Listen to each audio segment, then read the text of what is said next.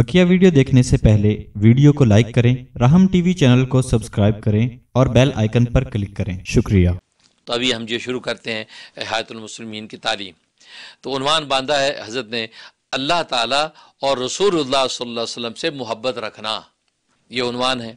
उसके बाद हदीस लाए हैं अनस रज़ी अल्लाह ताला से रिवायत है कि अलैहि वसल्लम ने फरमाया, तीन चीज़ें ऐसी हैं कि वो जिस शख्स में होंगी, उसको उनकी वजह से ईमान की हलावत नसीब होगी। ये तीन चीज़ें जिसके अंदर होंगी तो उन तीन चीज़ों की वजह से उसको अल्लाह तबारक वाल ईमान की मिठास अता फरमा देंगे। एक वो शख्स जिसके नज़दीक अल्लाह और उसका रसूल सल्लल्लाहु अलैहि वसल्लम सब माँ सिवा से ज़्यादा महबूब हों। यानी जितनी मोहब्बत उसको अल्लाह और उसके रसूल सल्लल्लाहु अलैहि वसल्लम के साथ साथ है, है किसी और से ना हो। जितनी उनसे मोहब्बत है इतनी किसी और से मोहब्बत ना हो। और एक वो शख्स जिसको किसी बंदे से मोहब्बत हो और महज अल्लाह ही के लिए मोहब्बत हो। यानी किसी दुनियावी गरज से ना हो, महज इस वजह से हो कि वो शख्स अल्लाह वाला है। इसलिए मोहब्बत करता है कि अल्लाह वाला है, नेक आदमी है, इस वजह से मोहब्बत करे। और एक वो शख्स कि जिसको अल्लाह ताला ने कुफर से बचाया हो, खा पहले ही से बचाए रखा हो, खा कुफर से तौबा कर लिया और बच गया हो।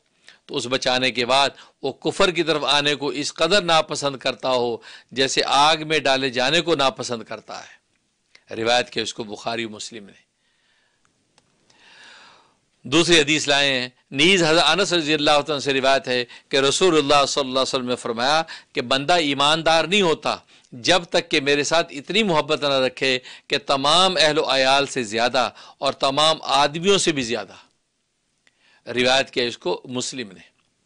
और बुखारी में अब्दुल इबन हिशाम की रिवायत से ये भी है कि हज़रत उमर रज़ी अल्लाह ताला ने अर्ज़ किया कि, या रसूलुल्लाह सल्लल्लाहु अलैहि वसल्लम, बेशक मुझको आपके साथ सब चीज़ों से ज़्यादा मोहब्बत है, बजुज़ अपनी जान के, यानी अपनी जान के बराबर आपकी मोहब्बत मालूम नहीं होती। यह हज़रत उमर ने कहा। तो आप सल्लल्लाहु अलैहि वसल्लम फरमाया, कसम उजात की जिसके हाथ में मेरी जान है। ईमानदार न होगे, जब तक मेरे साथ अपनी जान से भी ज़्यादा मोहब्बत न रखोगे। अल्लाह अकबर। सुबह अपनी जान से भी ज़्यादा जब तक मोहब्बत नहीं होगी, उस वक़्त तक ईमानदार नहीं हो सकते। हज़ उमर रज़ी अल्लाह तर्ज़ किया, अब तो आपके साथ अपनी जान से भी ज़्यादा मोहब्बत मालूम होती है। जब ये बात कही, वो कहने का असर था और रसूलुल्लाह की तवज्जो थी, दिल के अंदर से वो मैल भी साफ़ हो गया। और जहाँ फरमाया कि फरमाया कि मुझे अपनी जान से भी आपसे ज़्यादा मोहब्बत है। आपने फरमाया फरमाया कि अब अब पूरे ईमानदार हुआ उमर, अब पूरे ईमानदार हुए उमर। गोया कि देखें, अपनी जान से भी ज़्यादा मोहब्बत रसोल्ला के साथ जब होती है, अब इसका मतलब है कि अब ये जो है वो सही दीनदार है। फ़ायदा।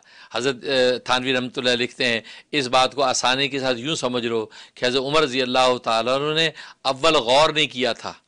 ये ख्याल किया कि अपनी तकलीफ़ से जितना असर होता है, दूसरे की तकलीफ़ से इतना असर नहीं होता। इसलिए अपनी जान ज़्यादा प्यारी मालूम होती है। फिर सोचने से मालूम हुआ कि अगर जान देने का मौका आ जाए तो यकीनी बात है कि हुजूर सल्लल्लाहु अलैहि वसल्लम की जान बचाने के लिए हर मुसलमान अपनी जान देने को तैयार हो जाएगा। तो इसी तरह आपके दीन पर भी जान देने से मुँह न मोड़े तो जान से भी ज़्यादा प्यारे हुए।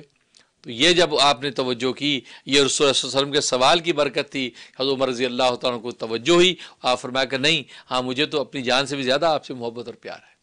अल्लाह से दुआ है कि अल्लाह तबारक वाली हमें भी ऐसा प्यार और मोहब्बत रसोल्ला से अता फरमा दे अपनी जान और पूरी इंसानियत, अपने अहल आयाल अपने माँ बाप और औलाद से भी ज़्यादा मोहब्बत रसोल्ला वसम से हो। और ये मोहब्बत के लुत्फ नसीब हो गया तो दुनिया में इंसान जन्नत के मज़े लूटता है। आमीन। या रबालमीन